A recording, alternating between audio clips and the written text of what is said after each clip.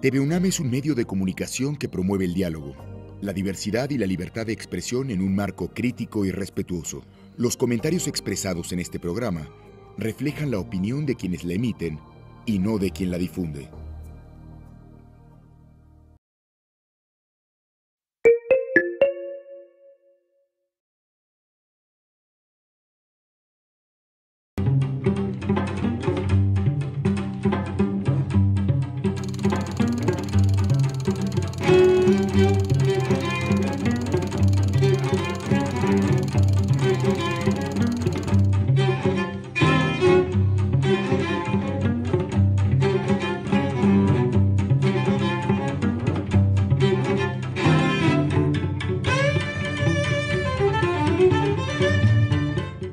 Primera vez como que siento un dolor por México, ya como un México concreto, Bueno, concretado en el a través de 85 también. O No, sea, yo, es que yo hubo. estaba recién llegada ah, de bueno, pero Puerto es que Rico. hubo 10.000 muertos. Sí. 10.000. Sí, sí, lo sé, O sea, que sí, fue un mundo. Una devastación ter- Sí, tremenda, ¿no? Sí, Este hubo menos derrumbes, pero hay más damnificados de que sus casas ya no las pueden habitar. exactamente, sí.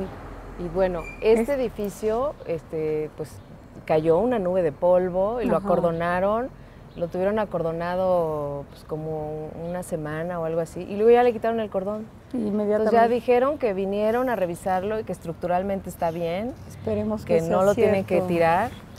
Y, pero hay gente que todavía vivía ahí, no entiendo cómo la gente puede seguir ahí. Y ahorita ya lo están reparando, ya se Sí. están tapando los hoyos de aquí abajo y van a seguir reparando lo de arriba. Pero bueno, a mí me da miedo ya pasar por enfrente. No, me imagino. Sí, aparte, no sé, resanarán las grietas, pero quedan, quedan heridas muy profundas.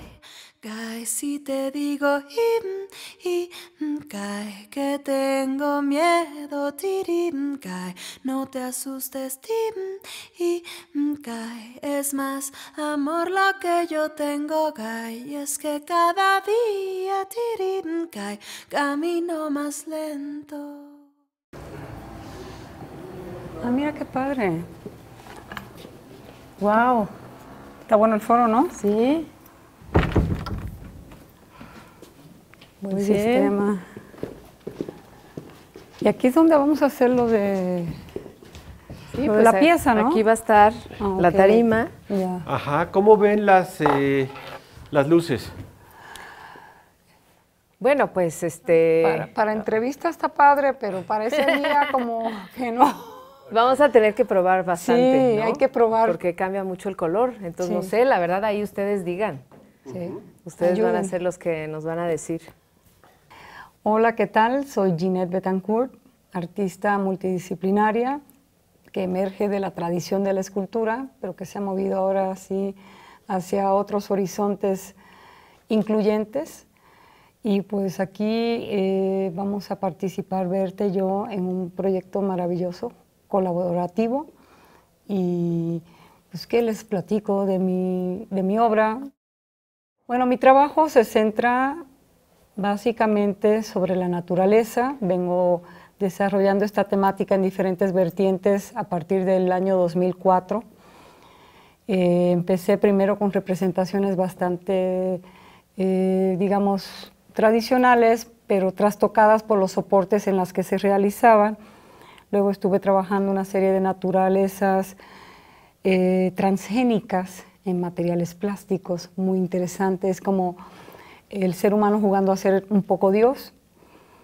De ahí migré a otros trabajos donde ya había una investigación más exhaustiva, eh, como fue en 2013 el caso del agua, la tierra y la alimentación. Yo soy Berta Kolteniuk, soy pintora. Fundamentalmente me he desarrollado a partir de la pintura, de lo pictórico, eh, mucha exploración matérica y espacial. Me ha interesado también como explorar la pintura dentro del espacio en forma tridimensional. Estoy eh, haciendo una transición hacia lo escultórico. Hago instalaciones también, he hecho piezas performáticas de video, de fotografía, pero todo está anclado en a partir del pensamiento pictórico. Es como de ahí van surgiendo este, todas estas posibilidades de experimentación. Empecé en un momento a trabajar con yeso por X razones, ¿no? Este, y vi un documental sobre Antártica y cómo se desplomaban los, los hielos en las heladas aguas y ya y fue como inmediato. Esa fue, digamos, la primera vez en la que realmente yo me aboqué sobre una temática eh, que tiene que ver con lo ecológico, con lo político, con lo social, que, que ya no era nada más un cuestionamiento sobre la pintura, sino sobre lo que sucedía en el mundo, ¿no? Pero un poco de manera inconsciente o, o intuitiva. Entonces hice una pieza que se llamó Antártica, que eran como trozos de yeso sobre una superficie azul, una instalación, y estaba hablando de eso, ¿no? Pero más que como para plantear una pregunta, era como, era un índice, ¿no? Para eh, indicar eh, que esto estaba sucediendo y con una tristeza y una melancolía muy profunda, ¿no? Y una impotencia de no no, saber qué hacer, ¿no? Fíjate que yo empecé en 2004 con lo de arte y naturaleza, quizás trabajando unas piezas que de alguna manera celebraban lo que era la naturaleza, que sigo pensando hoy día que es lo más bello que existe, lo único real que existe y, auténtico, digamos, genuino. Eh, todo lo demás está trastocado y aún la misma naturaleza pobrecita le están trastocando genéticamente. Entonces, de la naturaleza en su forma, digamos, en representaciones diversas sobre soportes diversos, hice hasta series de flores, semillas transgénicas. Yo concibiendo este mundo a futuro las hice en hule, ¿te acuerdas de esas piezas? De ahí poco a poco me fui enterando de lo que estaba pasando con la naturaleza y cómo la intercesión del hombre estaba acelerando procesos de cambio. Entonces vas viendo que esto es como una, como una, gran, una gran cadena que tiene muchos eslabones. Así que me he ido moviendo de una cosa a otra y en esta última etapa lo que he estado investigando es justamente el efecto del hombre, de lo humano, sobre el planeta Tierra, que es la era del antropoceno. Y la nosfera que es la esfera de conocimiento y cómo las nuevas tecnologías están cambiando tanto la percepción del hombre como la forma en que está impactando la Tierra. Y esto sí está creando unos cambios que ya, ya no hay ni manera de saber cuán dramáticos son. Quizás a veces a través de una pieza se logra recuperar esa, esa mirada que luego te puede llevar a reconectar con la naturaleza. Entonces sí es importante también señalar, al igual que Berta, yo he hecho obras que no necesariamente son contestatarias o de comentario específico. A veces es simplemente celebrar la naturaleza, su belleza, su magnitud, la paz que te transmite. Bueno, pues lo primero que, hicimos, nos juntamos Ginette y yo para ver cómo íbamos a abordar este tema, eh, de qué manera íbamos a trabajar y bueno, de las preocupaciones del mundo, este, la dividimos como en dos. Frío y O nos íbamos por los polos y el desprendimiento de los hielos y que eso implicaba como irse hacia el frío, hacia la parte fría, ¿no? Y que los colores iban a ser blanco y azul y oscuro, ¿no? O nos íbamos a lo caliente, que eran como los derrames petroleros. Entonces empezamos a buscar imágenes en internet de derrames petroleros y nos encantaron. En realidad fue terrible que nos encanten porque... Sí, pues hay una estética ahí. Hay una estética en el color increíble y dijimos, bueno, para no repetir y no quedarnos nada más con una cosa, eh, creo que este era un punto que a, que a las dos nos, nos, nos convenía abordar, este, porque era una nueva exploración, ¿no? Queremos hacer un derrame, un derrame petrolero. Así es. Nos guiamos por una fotografía que encontramos en el internet eh, y de ahí pues fui seleccionando los colores que, con los cuales creí que íbamos a poder como dar esos efectos de cómo se funden unos colores con los otros Eh, es, es muy chistoso porque hay unos como rosas, magentas, naranjas muy bellos. Así es. Estamos hablando de la belleza del horror, ¿no? Sí, yo conozco el problema del Golfo de cerca, o sea, la sobreexplotación y los grandes derrames petroleros que México ha tenido en el Golfo han sido asquero, asqueroso. La cantidad de especies que se están muriendo cada vez que hay un derrame y terminan bañadas de negro, de petróleo, y bueno, llegan y salvan, no sé, 20, 30 especímenes, los, les limpian, pero lo que se pierde es un ecosistema, o sea, es muy grave. Por eso a mí, en ese aspecto, a mí me jaló mucho, porque es algo que está pasando en México. Esto no es ajeno ni es lejano. Esto es el Golfo de México, que es una de las fuentes de mayor alimento en el mundo a nivel de mariscos, o sea, y se está acabando, ¿eh? Mira, si tomamos en cuenta el rectángulo, hay azul por los dos lados. Claro. Yo creo que hay que empezar primero por el azul. Entonces primero lo echamos el azul y vamos a ver hasta dónde llega. Tenemos que despacito y luego este y hasta dónde llega. Okay. Y luego ya empezamos a hacer como más finito lo de adentro.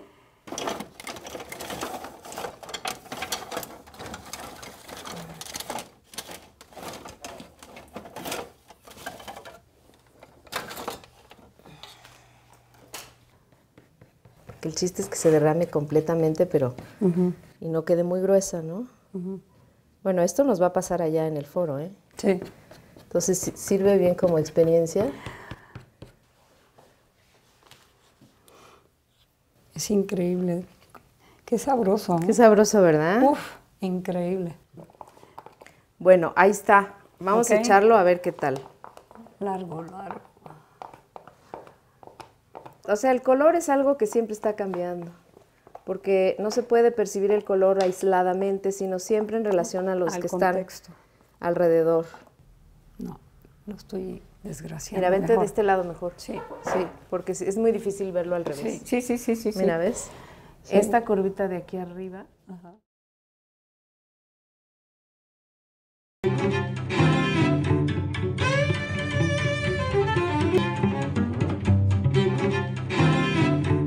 Ahora tiene una luz blanca, eh, que es para tomarlas bien mientras están aquí sentadas. Pero en el foro vamos a cambiar la luz.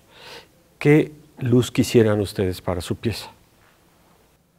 Bueno, a mí me, me gusta, digo, para ver el color no hay como la luz natural, ¿no? Entonces, pero debe haber una equivalencia así en, en lúmenes y demás como para saber de qué, qué tipo de color, qué tipo de intensidad, para dar una, una, una iluminación casi como la luz natural, ¿no? Sobre todo, ¿qué le pasa a un color cuando le pones una El luz de color? Porque eso es lo que no, no podemos este, imaginar. Mm, Está bonito este color, sí. pero como nosotros vamos a trabajar sobre lo caliente, porque estábamos entre que si lo frío o lo caliente, estamos sobre lo caliente. caliente. Ese es más Pero oscuro. yo creo que hasta que no veamos, sí, Es no, que- ese no, ese no, ese sí lo mata. Mata mucho. No, no, no. El otro clarito estaba bonito. Sí. Hay que verlo. No está mal, ¿eh? La enfría. La enfría, a mí La me gusta enfría, más pero, el- pero. Es no que está- depende sí. para qué momento del asunto. Claro. Hay que analizarlo. A ver, ¿podemos ver otra vez la, amarilla?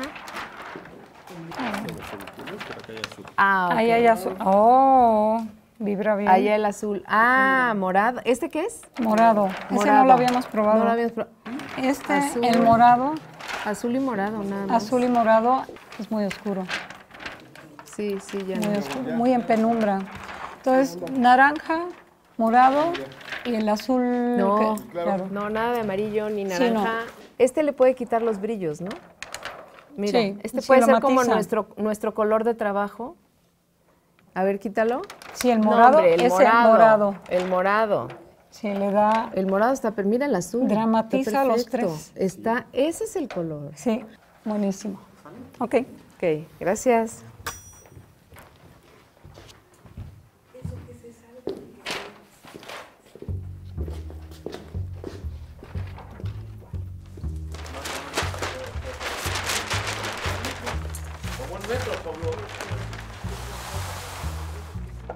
Cuando siento como cuando estoy en montaje, ¿no?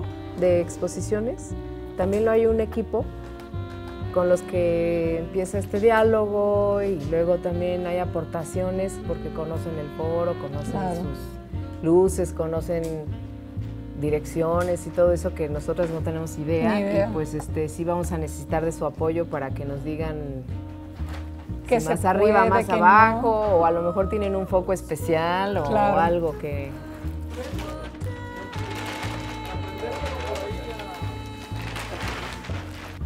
Mira, vamos a pillarlo aquí abajo. A ver si lo puedes pillar debajo del... Oye, parece que lo medimos, ¿eh?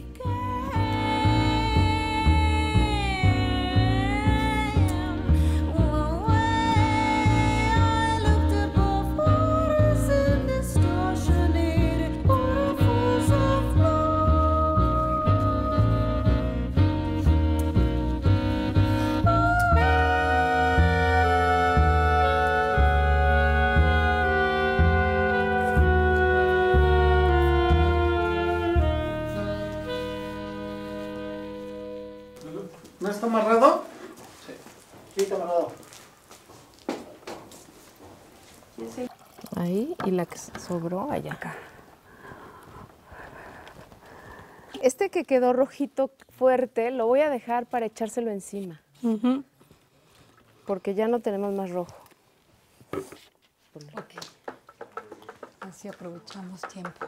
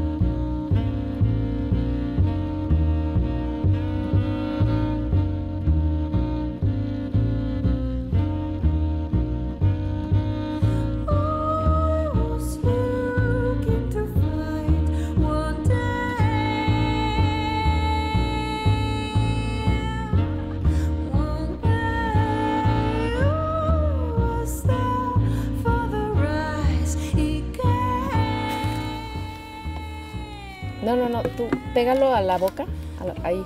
Y yo lo voy a ir bajando y tú lo vas bajando, velo bajando. Ok, Bájalo al piso. bueno.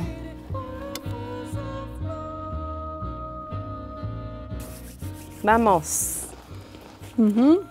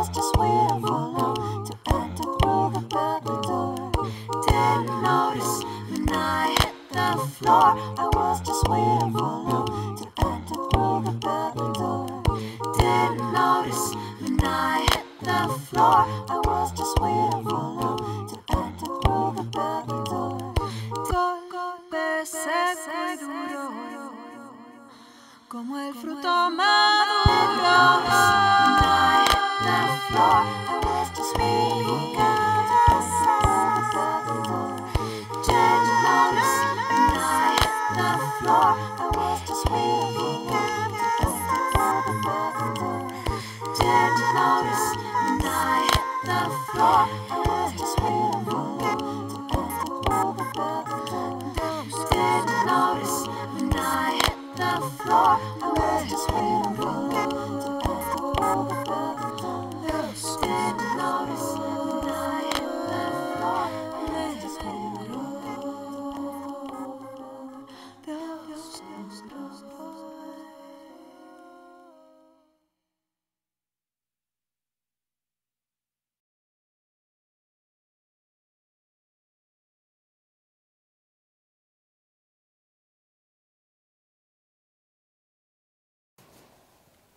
Pásame este, ya que estoy adentro.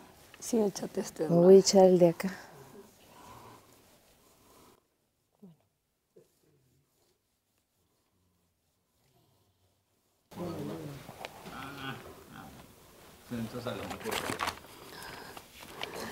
Voy a venir a hacer este si quieres. Ya la agarré. Es como que regresas. Mira, eso. Mira, ahí va. Ahí va. Acá. Para acá, hasta donde te alcanzara el brazo. Se va a Exacto. sentar. ya. Ahí está. Ahí está.